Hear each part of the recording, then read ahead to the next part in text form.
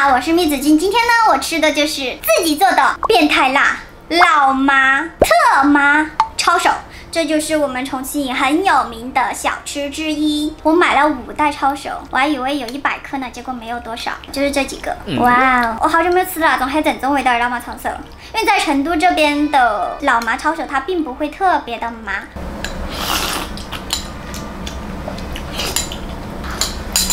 味道神还原，就是抄手不太好。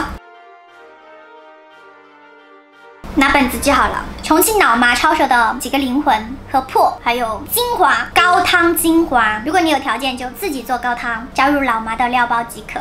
如果你是大师级别的，那老麻的料包。辣子油自己调配也可以。第二个破一定要放猪油，猪油，猪油。重庆小面、干溜豌杂、铺盖面、老麻抄手等等等等一系列地道重庆小吃的，这个叫什么？它不能叫灵魂，它叫破猪油。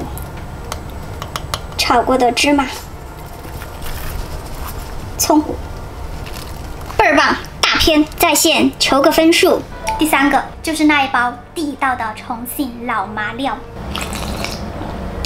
重庆有一家很出名的老麻抄手店，它不光是这个汤头很讲究，它的焯水很讲究。说的是五百克的面粉必须要做出九十七张抄手皮。嗯，味道是麻超的，麻超的。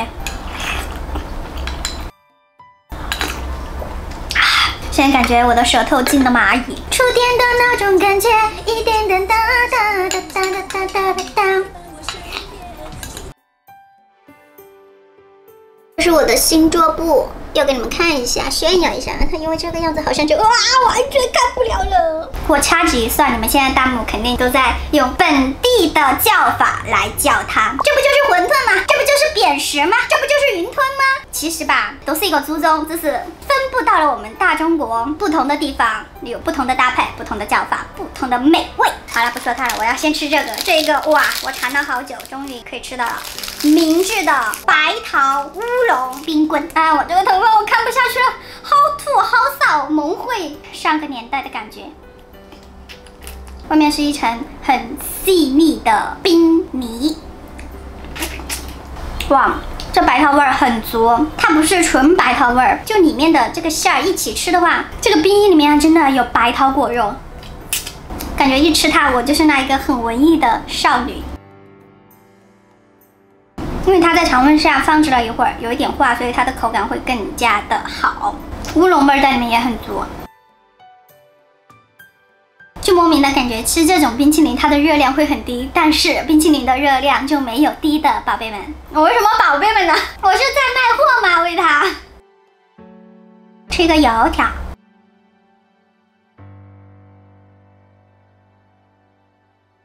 白桃跟乌龙真的做成什么都搭。奶茶，白桃乌龙奶茶好不好喝？好喝。冰棍好不好吃？好吃。我之前有说过嘛，我很爱海盐的一切小甜品。那这个就是海盐荔枝冰棍，怎么都好好吃。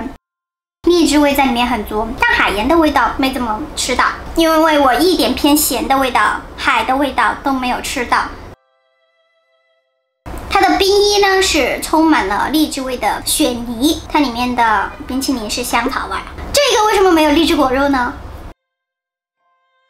都好吃，荔枝味更偏甜一点，白桃乌龙就更淡雅一点。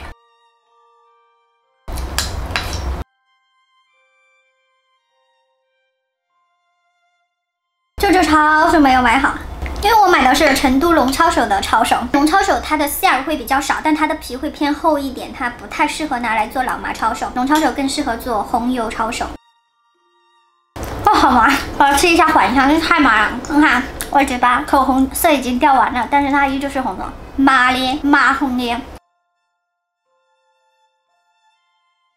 我觉得这一类他们的最祖先、最原始的叫法应该就是叫馄饨吧，因为这个美食的来源有一个故事传说，因为之前有两个恶人，一个叫馄，一个叫屯，然后老百姓们很痛恨这两个恶人，就把肉跟面粉皮这两种混在一起，把它们叫为馄饨煮了吃。以解恨。久而久之，就演变成了现在的江浙沪这边的各种鲜肉馄饨、荠菜馄饨、小馄饨，然后在川渝这边的老妈抄手、红油抄手、豆瓣抄手等等。广东地区又叫云吞、鲜肉马蹄云吞、鲜肉虾仁云吞、蟹子云吞、云吞面等等的。然后还有就是福建的扁食，哎，福建扁食是怎么个吃法呢？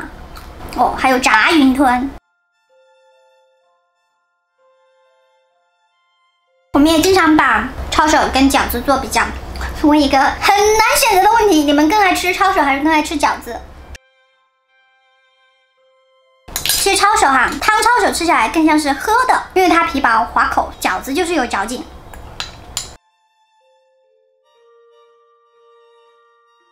汤抄手我只吃两个味道，两个都很极端，要么都是特老妈抄手，要么就是纯鸡汤抄手，两个都特别好吃。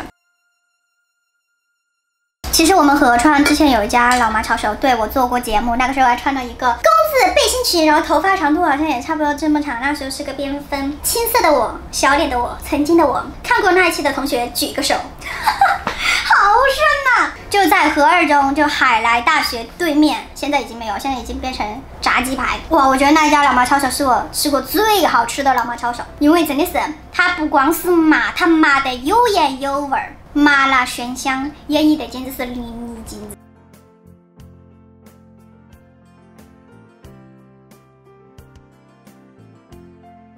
哦，这一段这个就是芋圆和汤圆，还有藜麦，不知道大家看上去食欲怎么样，想不想吃？因为它的颜色有点糟糕。我觉得不放最后的芝麻糊，它吃起来是好吃的，所以没太明白它这个芝麻糊搭配在里面是什么意思。或者我自己不应该加最后的酸奶。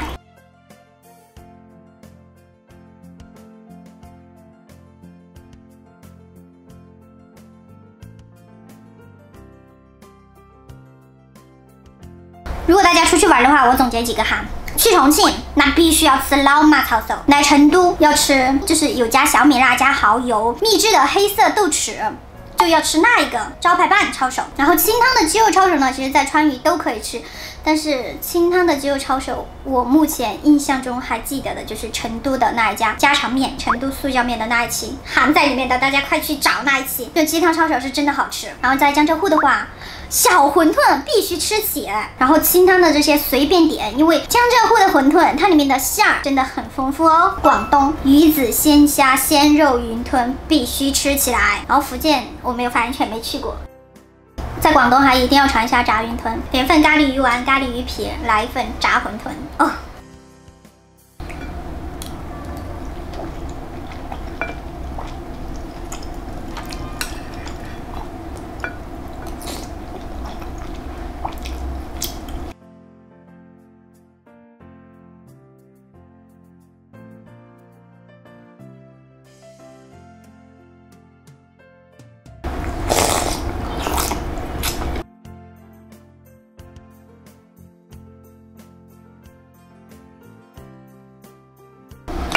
哇天，你还是动一下嘛！你不动，人家真的以为你是玩偶，小白牙。果然汤水使我快乐。